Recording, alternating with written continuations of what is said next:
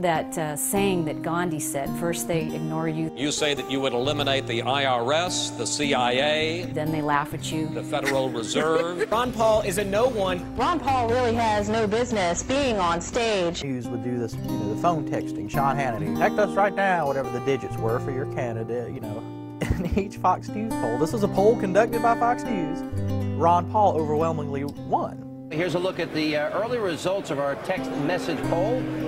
First place, Ron Paul, surprisingly. What does it say that he's doing so well in our text messaging among those watching Fox To be honest, right says absolutely nothing. Maybe he's a little bit better organized and having his organizers do, do the necessary dialing. Well, that's just those crazy Ron Paul people texting over and over. Now, we all know you text one time. Thank you for your vote. Fox News appreciates, you know, watch Fox News.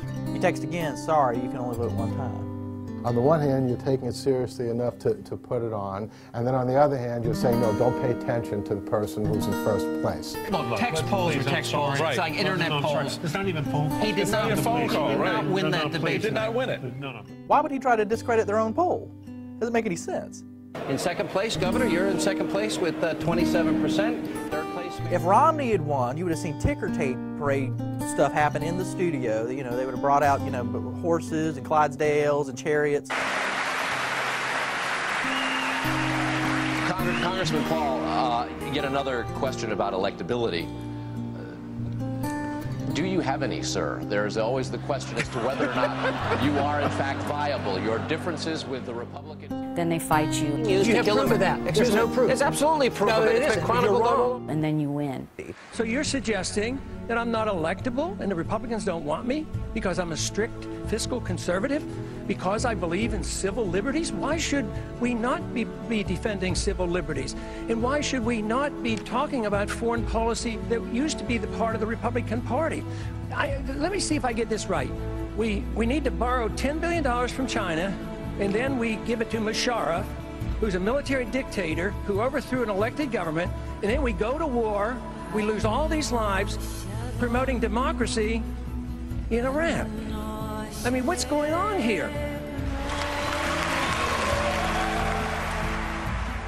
There's never been a more conservative person to run for president of the United States than Ron Paul, and he's an embarrassment to them because they're a liberal piece of trash neoconservative party cares about war and war alone. for Ron Paul's campaign. I think that's when a lot of people woke up. There's no question that, that Ron Paul struck a chord and it resonated with many people. The Ron Paul moment, and that's exactly what that was.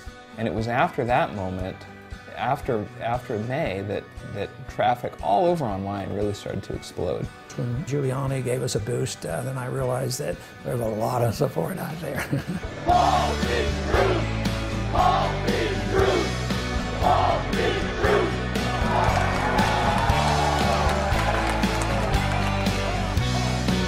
groups. I know McCain, he's got like five people. Blew away every other candidate by a mile. 4,000, 5,000, something like that, um, groups around the world. And not just in America, I mean around the world. They were in Belgium and, and Australia and, and just, they were everywhere. Places, it's like, can you attach it?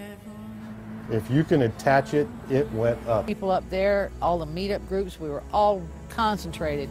There wasn't anywhere you could go that somebody didn't have a Ron Paul sign up. We're about to go where no man has gone hmm. before. We don't do it because it's easy. We do it because it's hard. One small step for man, one giant leap for Ron Paul.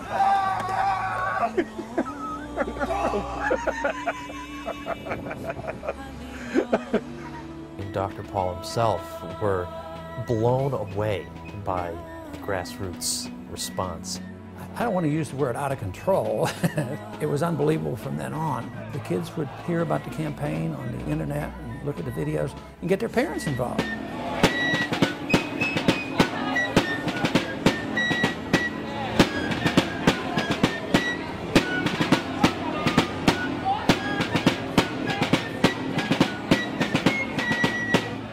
We have allowed our nation to be overtaxed overregulated and overrun by bureaucrats. The founders would be ashamed of us for what we're putting up with. Ron Paul outnumbered and outrallied all the other candidates' people combined. It was just, it blew me away, you know, so I knew I was in the right camp. And we had fun because if you're not having fun, You're so doing it wrong.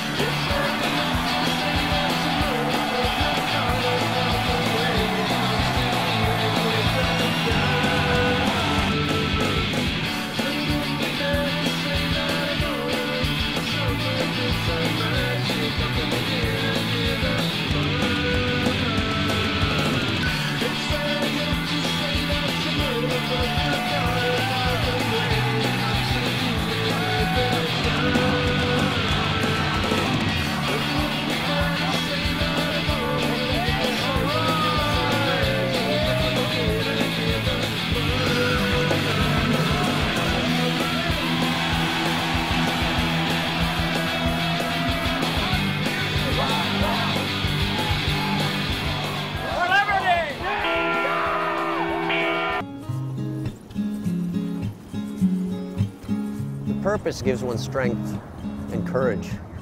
I pedaled 3,700 miles from the Santa Monica Pier in California and Los Angeles to the Jefferson Memorial in Washington, D.C. It was the idea that we can make a difference in this country, and that's more important than any personal hardship I might go through. People are going to be sorry. They're going to look back and say, oh, maybe I could have done more. It ain't going to cut it in this day and age. We need to, to do more.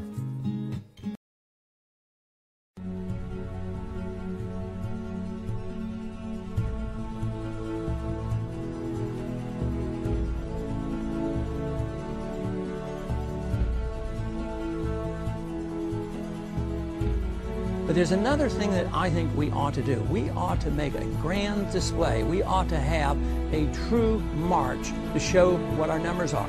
Ron Pucker Paul, all he had to do was say, hey, I think there should be a revolution march. Boom.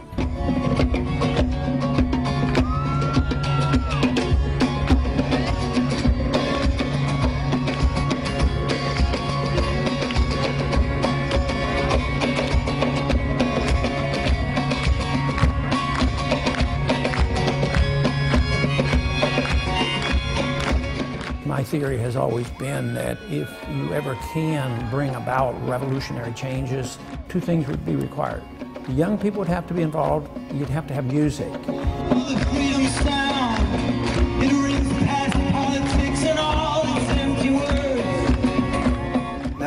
revolution is worldwide. It's always been worldwide. Did you listen to a poet or a prophet? Journal all this world's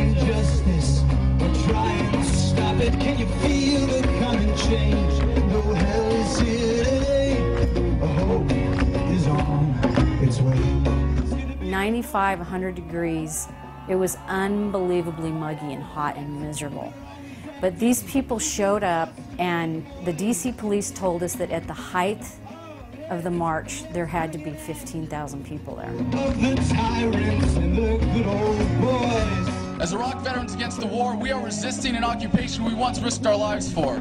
We swore to support and defend the Constitution of the United States of America, but we found out the hard way that the greatest enemies of the Constitution are not to be found in the sands of some far off land, but rather right here at